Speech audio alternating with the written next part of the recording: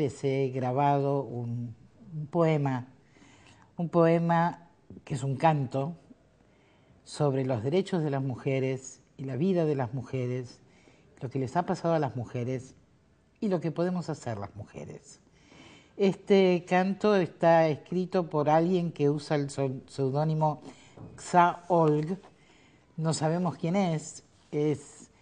Todo el mundo ha estado tratando de averiguar con Google y demás a ver quién se oculta detrás de este seudónimo. No ha habido posibilidad de hacerlo. Alguien me dijo una vez que era una, una china.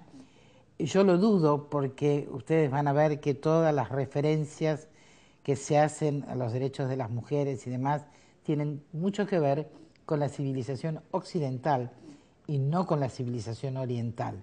De manera que yo creo que más bien es alguien eh, occidental pero que no quiere darse a conocer. De todas maneras, a mí me gusta mucho, me parece que es una de las formas en que a todas nos llega más qué es lo que nos pasa.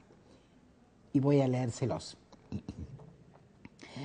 Vengo desde el ayer, desde el período oscuro y olvidado, con las manos atadas por el tiempo, con la boca sellada desde épocas remotas Vengo cargada de dolores antiguos, recogidos por siglos arrastrando cadenas largas e indestructibles. Vengo desde la oscuridad del pozo del olvido, con el silencio a cuestas, con el miedo ancestral que ha corroído mi alma desde el principio de los tiempos. Vengo de ser esclava por milenios, esclava de maneras diferentes, sometida al deseo de mi raptor en Persia, esclavizada en Grecia bajo el poder romano, convertida en vestal en las tierras de Egipto, ofrecida a los dioses en sitios milenarios, vendida en el desierto o canjeada como una mercancía.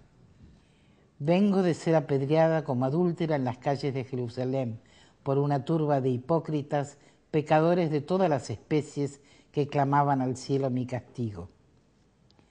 He sido mutilada en muchos pueblos para privar mi cuerpo de placeres y convertida en animal de carga, trabajadora y paridora de la especie.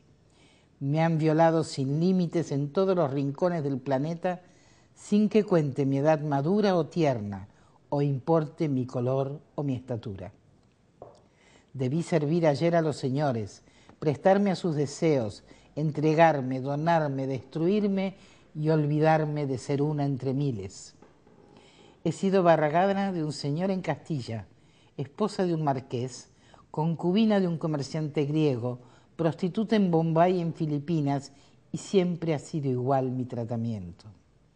De unos y de otros siempre esclava, de unos y de otros dependiente, menor de edad en todos los asuntos, invisible en la historia más lejana y olvidada en la historia más reciente.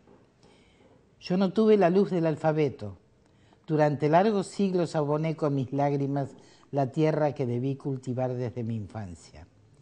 He recorrido el mundo en millares de vidas que me han sido entregadas una a una y he conocido a todos los hombres del planeta, los grandes y pequeños, los bravos y cobardes, los viles, los honestos, los buenos, los terribles.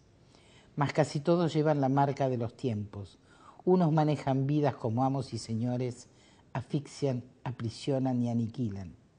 Otros dejan almas, comercian con ideas, asustan o seducen, manipulan y oprimen.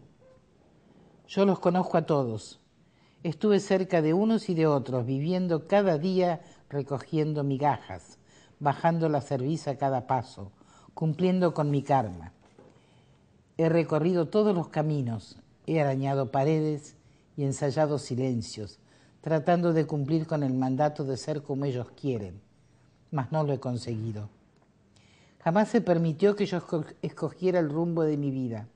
He caminado siempre en una disyuntiva, ser santa o prostituta. He conocido el odio de los inquisidores, que a nombre de la Santa Madre Iglesia condenaron mi cuerpo a su servicio y a las infames llamas de la hoguera.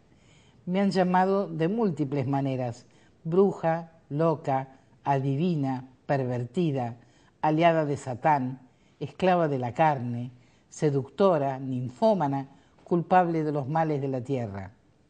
Pero seguí viviendo, arando, cosechando, cosiendo, construyendo, cocinando, tejiendo, curando, protegiendo, pariendo, criando, amamantando, cuidando y sobre todo amando.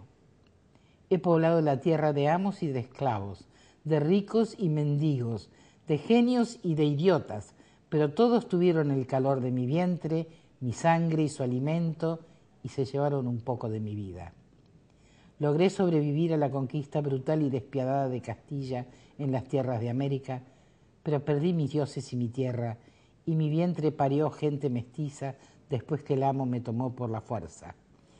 Y en este continente mancillado proseguí mi existencia cargada de dolores cotidianos, negra y esclava en medio de la hacienda, me vi obligada a recibir al amo cuantas veces quisiera, sin poder expresar ninguna queja. Después fui costurera, campesina, sirvienta, labradora, madre de muchos hijos miserables, vendedora ambulante, curandera, cuidadora de niños o de ancianos, artesana de manos prodigiosas, tejedora, obrera, maestra, secretaria, enfermera, siempre sirviendo a todos, convertida en abeja o cementera, cumpliendo las tareas más ingratas, moldeada como cántaro por las manos ajenas. Y un día me dolí de mis angustias, un día me cansé de mis trajines. Abandoné el desierto y el océano, bajé de la montaña, atravesé las selvas y confines y convertí mi voz dulce y tranquila en bocina del viento, en grito universal y enloquecido. Y convoqué a la viuda, a la casada, a la mujer del pueblo, a la soltera, a la madre angustiada, a la fea, a la recién parida, a la violada, a la triste, a la callada, a la hermosa, a la pobre, a la afligida, a la ignorante, a la fiel, a la engañada, a la prostituida. Vinieron miles de mujeres juntas a escuchar mis arengas. Se habló de los dolores milenarios, de las largas cadenas que los siglos nos cargaron a cuestas. Y formamos con todas nuestras quejas un caudaloso río que empezó a recorrer el universo ahogando la injusticia y el olvido. El mundo se quedó paralizado. Los hombres y mujeres no caminaron. Se pararon las máquinas, los tornos, los grandes edificios y las fábricas, ministerios y hoteles, talleres y oficinas, hospitales y tiendas, hogares y cocinas. Las mujeres por fin lo descubrimos.